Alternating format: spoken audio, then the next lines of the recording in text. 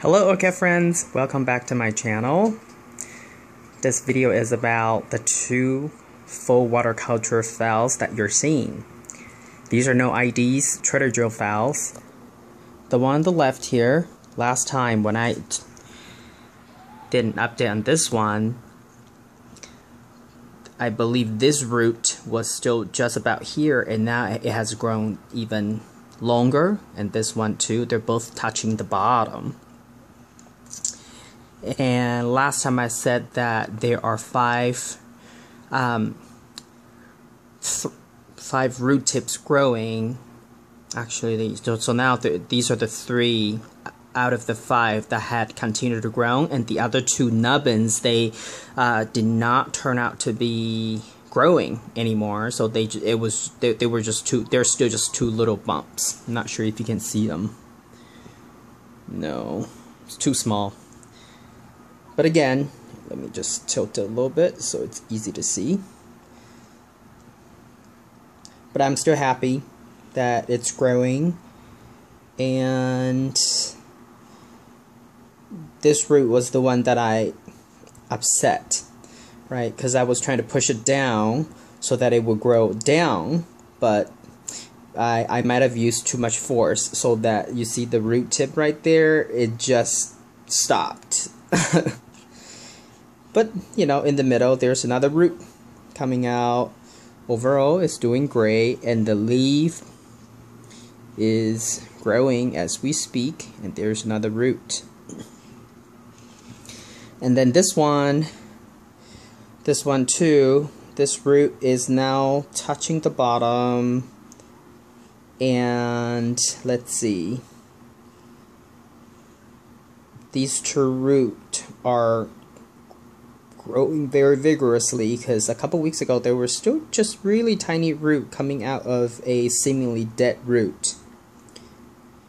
And speaking of seemingly dead root, I want to show you something hopefully we can see from here.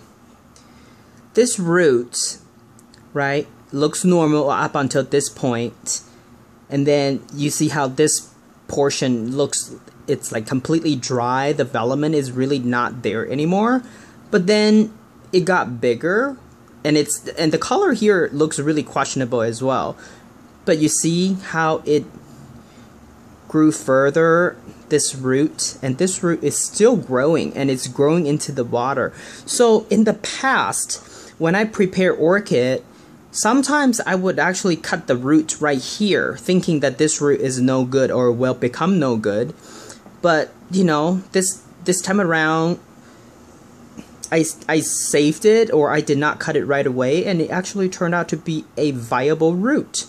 So I just feel that I might have always cut more roots than necessary before. So I thought I would share that observation with you. Um, if you observe your roots enough, you probably already know this, but I thought, you know, if you're new to the chat, um, this my channel or new to the orchid growing hobby, sometimes you might want to leave roots when in doubt. So you don't want to cut more than necessary. And then, um, what else can I show you? Oh, yeah, another water root that is growing. So overall, I think this one really is liking water culture. Um, and then I also want to share an observation, and you guys can tell me if you agree. Um, I used to like to use glass um, for water culture, and I still do, and I really like the look and feel of it. Um, and sometimes I even I, I used to have those round glass bowls, right? Um, for for orchids, and they look great. But I find I personally think that orchids like to be well we know orchids like like they like to be secured so if you find some containers that have that would allow them to have an easier better opportunity to grow roots to to be touching the sides right but then you also want want want to make sure that there is enough um, height for your orchid root to grow downward and then also sideways.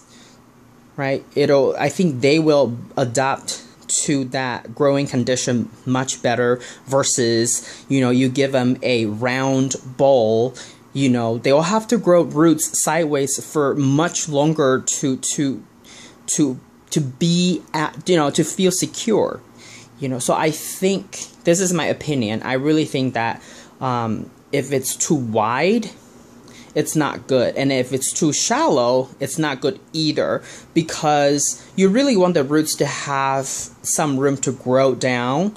Um, so that way you actually have more room for water and more root growth. Um, more room for root growth as, as well because I used to like to just use some water at the bottom and have this have the orchid all the way almost to the bottom it worked fine but I think the more water here right? And if they're and the roots grow into the water a little more, it's gonna help you um, reduce the the frequency of you having to re-water your orchid. Personally, I only give give these two orchid um, fresh water every 10 days or so, sometimes even two weeks when I water my other semi hydro orchids and they seems to be doing just fine. So, um, in other words, these two orchids do not receive weekly um, water uh, refresh. so they are doing fine.